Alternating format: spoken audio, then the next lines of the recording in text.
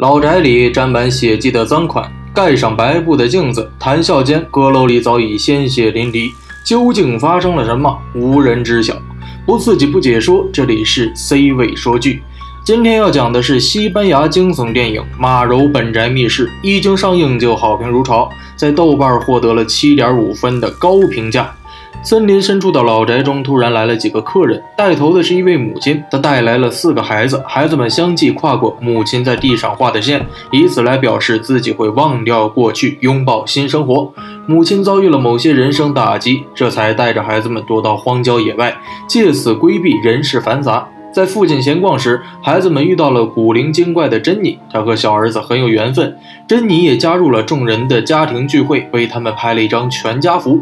只不过，美好的生活并没有持续太久，母亲患上了重病，她的身体状况非常糟糕。临死前，母亲找到了大儿子杰克。他让儿子把自己埋到花园，这是因为根据当地的法律，年龄达到二十一岁的公民才能成为监护人。杰克距离二十一岁还有几年，为了不让弟弟妹妹流落孤儿院，他必须低调行事，隐瞒母亲的死讯。在母亲床前，四个孩子表达了他们的决心。接下来的日子里，四人会互帮互助，维持这个家的完整。一次偶然间，三女儿发现玻璃上出现了弹孔，靠近窗户，她看到一个男人就在外面举枪射击。三女儿叫了一声“杰克”，她放下钢笔跑了过去。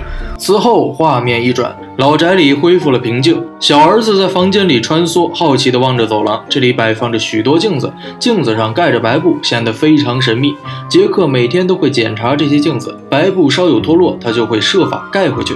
忙完了这些，杰克来到了镇上。他来到图书馆里与珍妮见面，二人已经进入了热恋期。在他们亲热时，镇上的律师赶了过来，他也很喜欢珍妮。和杰克相比，律师有着很稳定的工作，较高的社会地位，所以他一直自我感觉良好。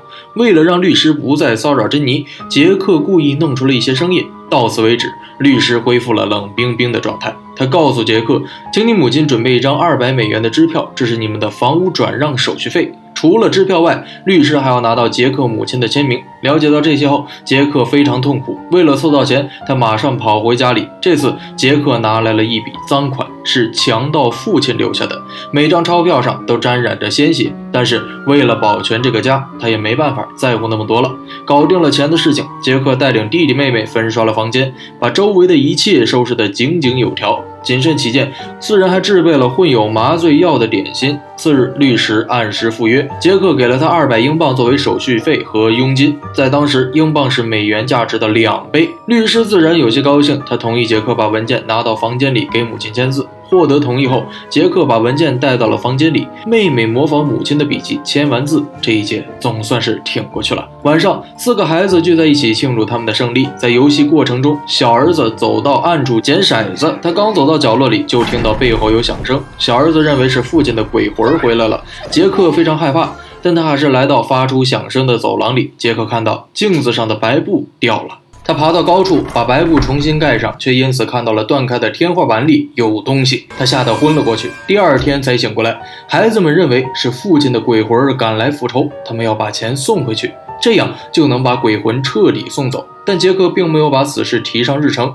他还是和往常一样与珍妮见面。珍妮毫不在乎杰克的过往，还像姐姐一样安慰着他，抚平父亲对他造成的创伤。律师看到了这一幕，决心想尽各种办法报复杰克。而且，律师并不是杰克唯一需要注意的人，家人们也非常不满杰克的行为，随意和外人接触很可能会引起注意，从而暴露家里的秘密。在杰克与家人冷战时，小儿子进入了母亲的房间。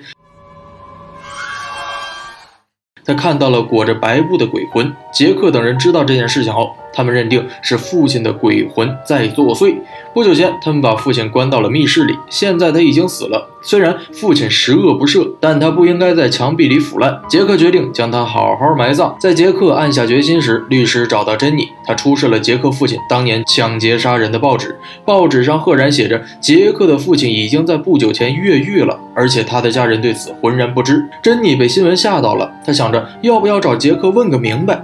独自在家的妹妹摸到了一只鬼手，她吓得不停洗手，躺在床上许久也没有恢复过来。然而，这个家的噩梦才刚刚开始。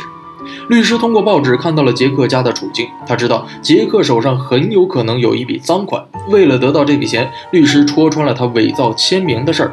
如果不给够封口费，把这一切公之于众，眼下家里的钱就只剩下那笔赃款了。几天前，他们把赃款扔到了烟囱里。为了这个家，二儿子摸黑爬了进去，他顺利拿到了赃款，但是在离开时。却突然被一股力量拽住，努力了许久才成功离开烟囱。次日清晨，杰克看到二儿子受了伤，二儿子告诉杰克，父亲还活着，他被困在阁楼里，但却并没有放弃进食。听到这些，杰克昏了过去。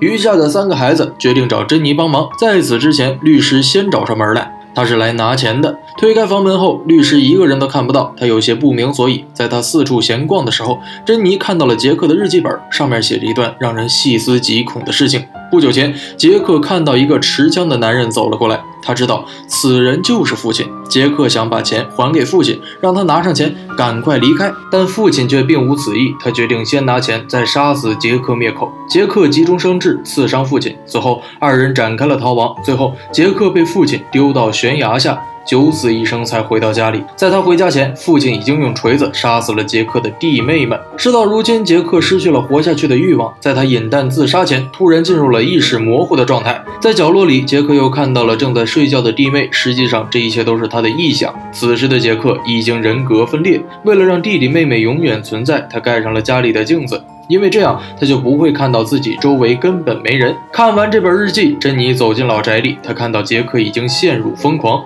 珍妮见状，马上走过去安抚杰克。可是现在的他已经不再是杰克了，而是各种人格的混合体。其他人格赶走了珍妮，他也只得先行离开。此后，珍妮来到阁楼里，在这里，他看到了许多恐怖的景象，以及身受重伤的律师。不久前，律师遇到了杰克的父亲，这才遭此劫难。珍妮自知无法全身而退，便尝试与杰克的父亲交谈。珍妮的声音刺激到了杰克，他觉醒了二儿子的人格。二儿子非常勇敢，直接冲上来开枪杀掉了父亲。到此为止，灾厄终于告一段落。抱着杰克，珍妮总算是放下了心头的沉重。此后，杰克接受了治疗，医生给他开了一大堆药，以确保杰克脑海中的弟妹不再出现。但珍妮却收起了这些药物，与其让杰克在痛苦中度过余生，不如让他一直活在自己臆想的世界里。总体而言，本片有几个颇为重要的点。影片的前半部分，杰克曾自己去盖镜子。从这一段画面，我们可以看出，杰克身边其实是一个人都没有的。镜子可以理解为现实世界，把现实世界盖住，杰克就能永远沉浸在自己的想象中。后半部分，律师曾来过老宅，他也看到房间里非常冷清，毫无孩子生活过的迹象。这也印证了杰克人格分裂。接下来就是杰克父亲这条主线。实际上，杰克父亲是真实存在的，他杀掉了三个孩子。通过剧情，我们可以得出结论：杰克与父亲产生过战斗，父亲被锁在了阁楼里，他依靠各种现有的资源存活至今，活得人不人鬼不鬼。杰克则人格分裂，活在自己的世界里。幸亏有珍妮介入，这一切才彻底结束。总而言之，本片是一部非常深情的恐怖片，全片没有鬼怪。有的只有爱和善良。今天的故事就讲到这里，点赞关注走一波，下期不见不散。